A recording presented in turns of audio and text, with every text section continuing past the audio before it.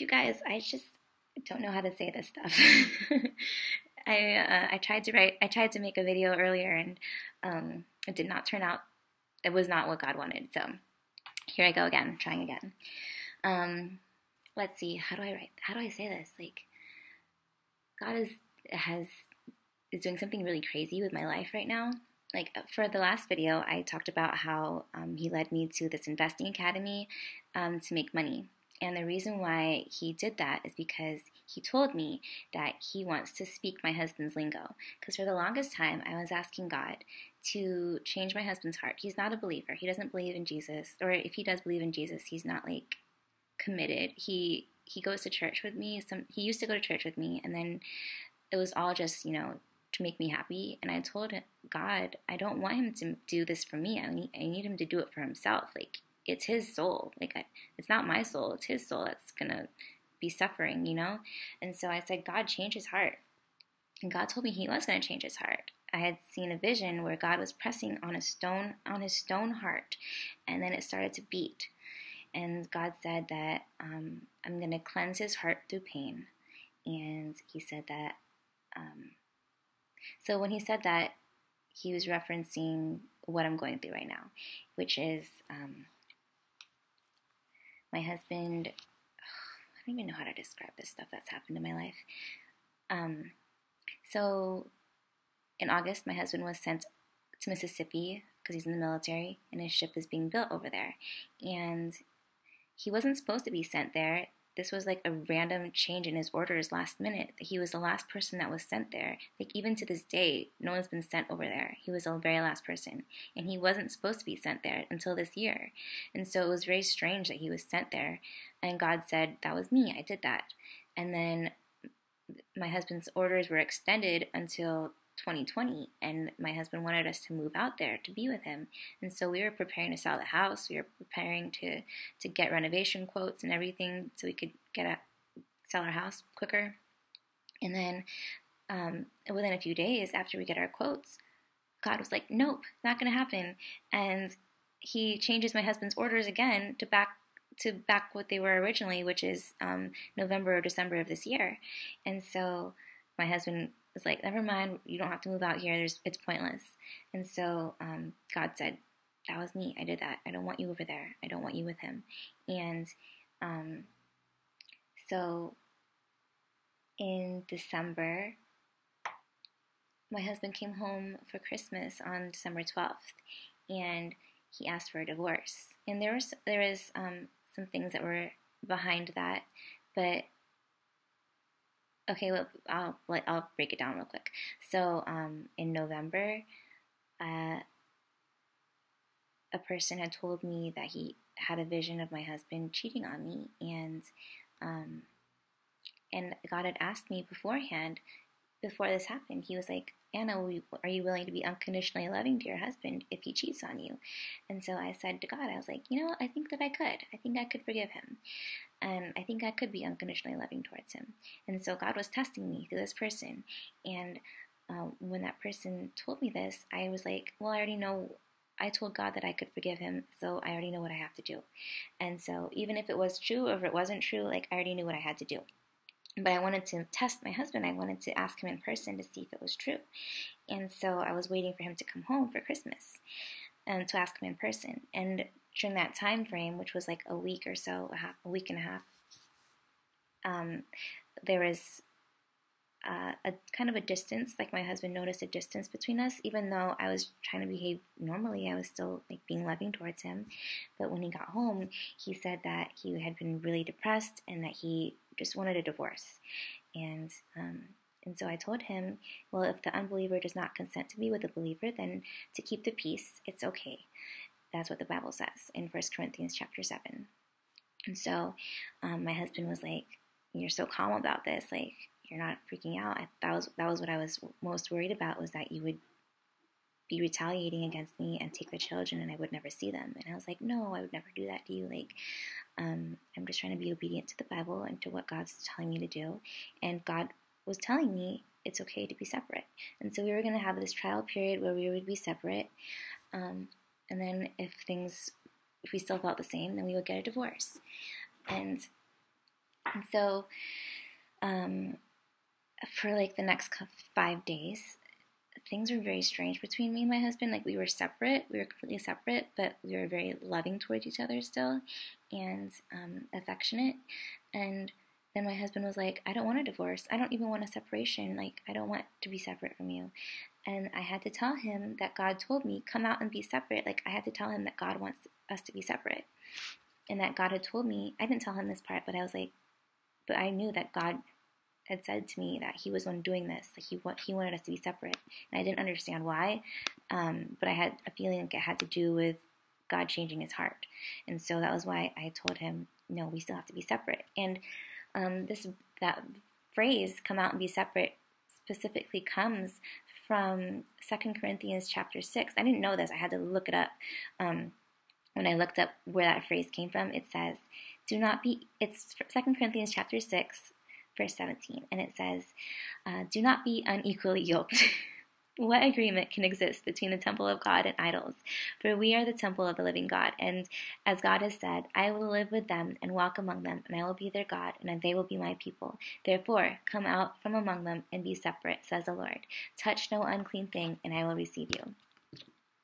And so, yeah, it's it has to do with being unequally yoked, which is what I am. And um, in another Bible, it's it starts with why you have to be wary of idolatry. And so this ties into my last video because God told me He was going to speak my husband's lingo. Um, just pretty recently, like a couple weeks ago, He said this.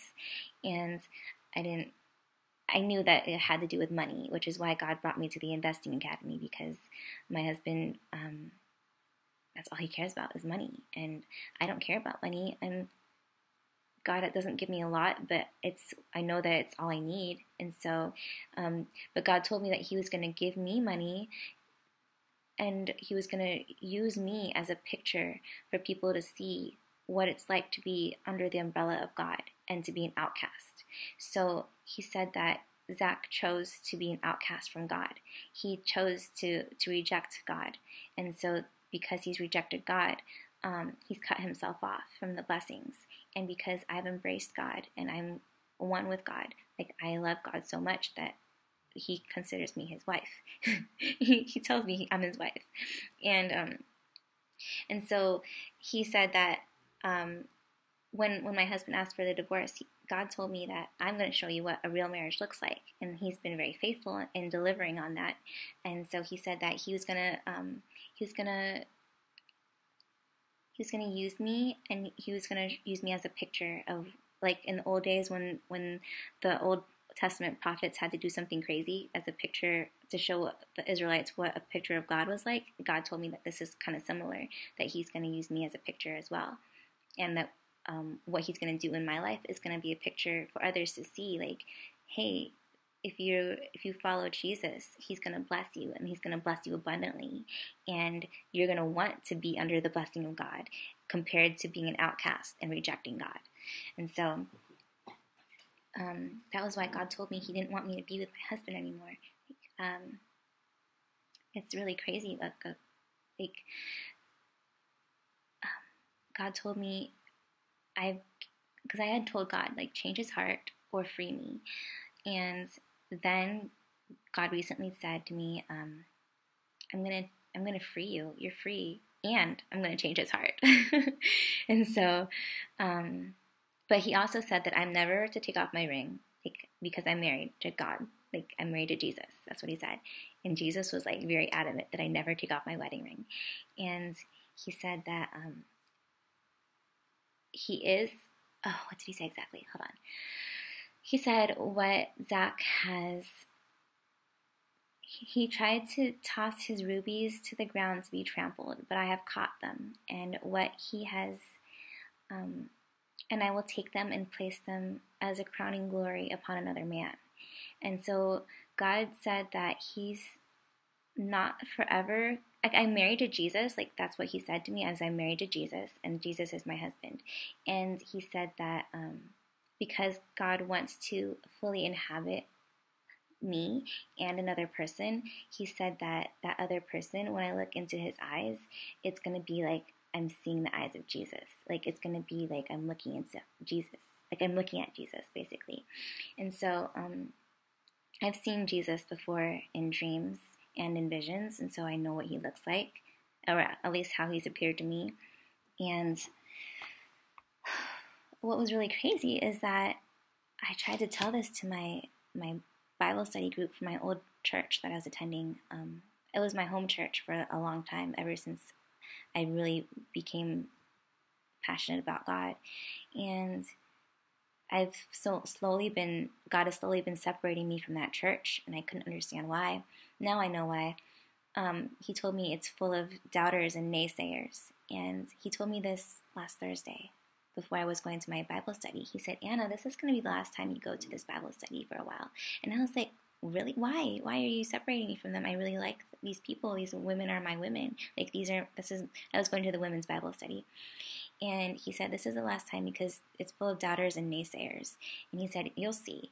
And so, um, so I went to the Bible study. And then at some point, God was like, I want you to tell them about what I'm doing in your marriage. And he was like, he was like, you can tell them they're your friends, right? I was like, yeah, they're my friends. And so um, I tell the group, I'm like, hey, God said I can share this with you guys. Um, I didn't want to share it, but I'm going to share it because He said you're my friends and I can share it with you.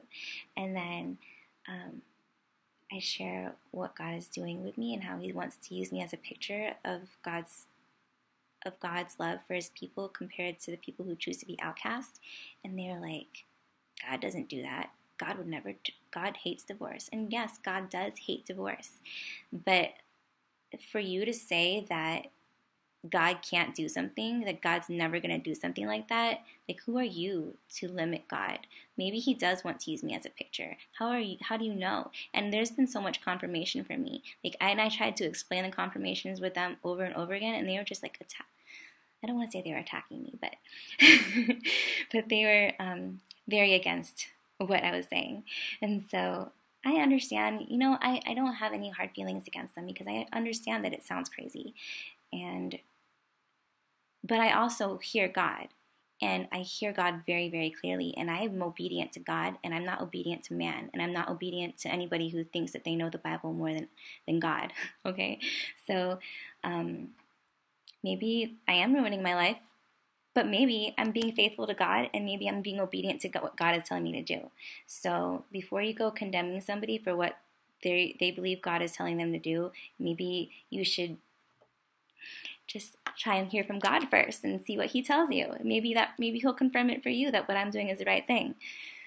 So what uh, one of the Bible verses that God had given me um, that to clarify things for me was 1 Corinthians chapter 7 again like he's it's he took me back to 1 Corinthians chapter 7, where it says, um, Only let each one live the life which the Lord has assigned him, to which God has called him. For each person is unique and is accountable for his choices and conduct. Let him walk in this way. This is the rule I make in all the churches.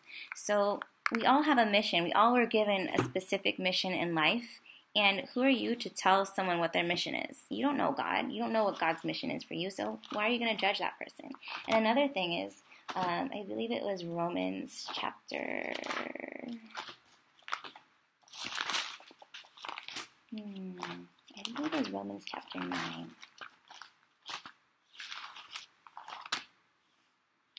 Oh, here it is. No, it's Romans chapter 14, verse, verse um, 3. It says, um, let him who eats despise him. Let not him who eats despise him who does not eat, and let not him who does not eat judge him who eats, for God has received him. Who are you to judge another's servant? To his own master he stands or falls. Indeed, he will be made to stand, for God is able to make him stand. So this is just saying, you know, don't judge another person. You don't know what that person is being called to do unless you ask God for confirmation. And so God has confirmed it with me many, many times, and I know what God is telling me to do. And so I'm not going to listen to anybody say otherwise. I'm sorry, but and I love you, but I know what God's telling me to do. And I know that He's going to use this for His good and His glory. So I'm not trying to, I don't hate my husband. I love my husband. or I, I don't know what to call him anymore, but I, I love Zachary and I, um, I respect him, but I know that God is calling me to do something different. And um, yeah, that's all I have to say about that. And now I'm to stop the video because it's getting kind of long. And I'm, there's another video that's coming up. I don't know if I'll do it tonight, but I'm gonna have to share it soon because God told me to release everything, and this is included. So yeah, um, don't judge me because I know it sounds crazy, and it's not because and I'm not doing this for myself. Trust me, because I have a family and um, and I know that but God has confirmed it so many times through other people that He's going to take care of my children, He's going to take care of me, and He's going to take everything. Like everything is in His hands, so I don't need to worry about anything. And I'm for people who are like, oh, but think about your children, blah blah blah. And I'm like, I think about my children. I think about my husband. Like I think about how this is going to affect us, but I also see the long term thing, which is that my husband will be saved, and so will many other people. And that's what really matters. And if I have to sacrifice my life, if I have to sacrifice living in a nice home, if I have to sacrifice um, having my family, having my children, which is what God has told me to do, I have to sacrifice my children. I can't have them. Like, I'm going to do it. I don't care what you guys think.